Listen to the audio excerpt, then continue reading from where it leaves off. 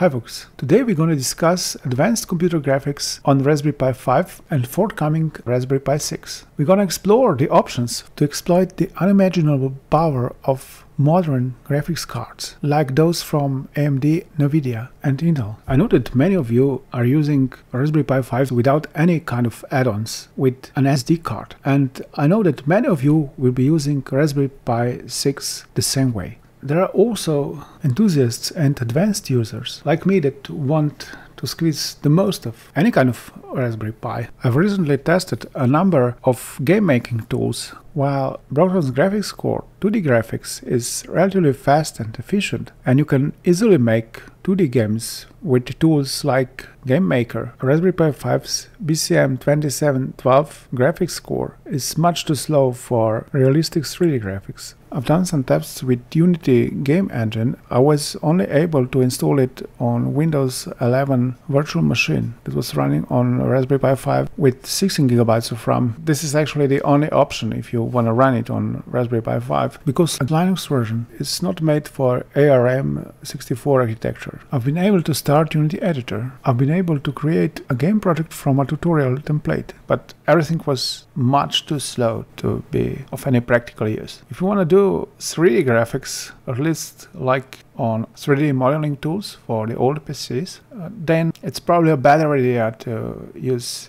Godot because it can install on Raspberry Pi OS directly without having to run on any kind of virtual machine. It's much faster but still too slow to be of any practical use. Maybe if you develop 2D games, but for 2D games development, Game Maker is a much better choice. No wonder why there is so much effort spent to connect a proper graphics card to Raspberry Pi 5 through a PCIe port. Though this is a great endeavor, I don't believe that Raspberry Pi 5 would be able, no matter what kind of graphics cards you connect to it, it to run games with complex 3D graphics fluently. I've read the specifications for recommended configurations to run Unity or Unreal game engines and it is clear that you also need much more powerful processing cores. If you are talking about Intel and AMD processors, they are way ahead compared to Raspberry Pi 5's BCM27 system on chips ARM A76 cores. However, an advanced graphics core is really not needed if you are using your Raspberry Pi 5 as a robotics controller or as an AI module. Therefore, Raspberry Pi 6 could emphasize on having much more powerful processing cores while keeping a relatively low power graphics core, but also providing an option for an external graphics card. Fourth generation 4-lane or even 8-lane PCIe bus would enable Raspberry Pi 6 to communicate to a graphics card 20 times faster. A gaming Raspberry Pi 6 would also need a fast SSD drive, which also needs to connect to PCIe bus. Luckily, we have a great PCIe switch solution from ASMedia Technologies SM2806 chip, which can serve as a 4-lane PCIe switch. This is a similar solution that I'm using today with my Extreme Raspberry Pi 5. There should be a PCIe extension board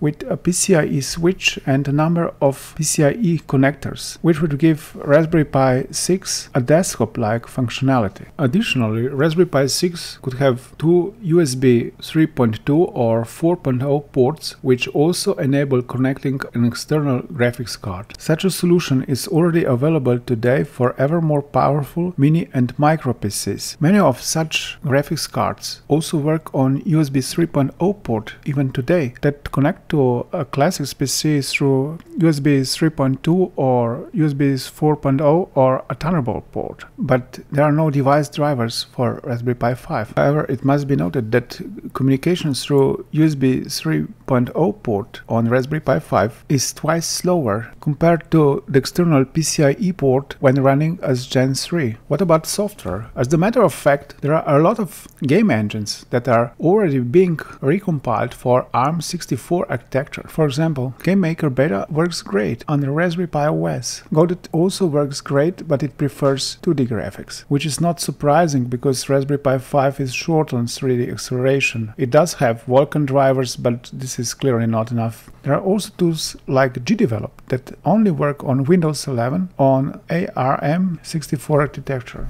Unofficial Windows support for Raspberry Pi 5 and forthcoming Raspberry Pi 6 would be beneficial in this case. It is much faster to run Windows on a physical machine than on a virtual machine. Currently, I'm only able to run Windows 11 on a virtual machine with my Extreme Raspberry Pi 5 with 16GB of RAM. The old Raspberry Pi 5 with 8GB of RAM, which can run Windows 11 directly, is therefore much faster. However, in some cases, it may get short on RAM while doing computer graphics or AI calculations. A powerful external graphics card option and native Windows 11 support are therefore crucial factors for Raspberry Pi 6 attract more users and to become even more successful as Raspberry Pi 5 currently is. Thank you for watching. Please press like and subscribe buttons and don't forget about the notification bell. See you in the next video. Bye.